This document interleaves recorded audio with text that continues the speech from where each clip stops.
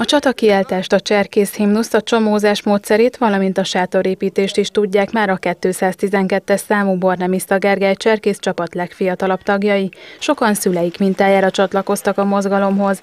Hasonlóan a tanévhez szeptembertől szeptemberig tart egy cserkészév, nyáron pedig sok szabadidős program és táborozás vár a gyerekekre. A Bervavölgyi Cserkészparkban a hosszú bezártság után nagy örömmel vonultak el a természetbe a kicsik és nagyok. Mindig van egy olyan két-három óra, amikor csak játszunk, meg kimegyünk, együtt vagyunk.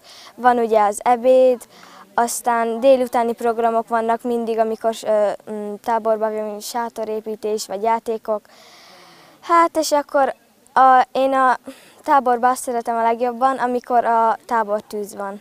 A cserkészet alapelve a természet szeretete, valamint az Isten tisztelet. Általánosságban elmondható, hogy kis közösségekben, őrsökben tevékenykednek. Maga a mozgalom 113 éves múltra tekint vissza. Az első cserkész tábor az 1907-ben volt, Dél-Angliában, Brownsea Islanden, amelyet a főcserkész Lord Robert Baden-Powell vezetett, illetve itt próbálta ki először azt a nonformális nevelési módszert, amelyel mi tulajdonképpen dolgozunk, és ez is ebben áll a cserkész módszernek a, a, a lényeg ebben a nevelési rendszerben. 16 éves kortól többféle területen próbálhatják ki magukat a cserkészek, így lehetőségük van például lovas, barlangász vagy vadollakók szakágat választani.